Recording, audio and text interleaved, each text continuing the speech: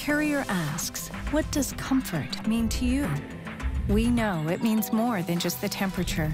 And the people who invented modern air conditioning keep inventing new ways to make you comfortable. Carrier, turn to the experts.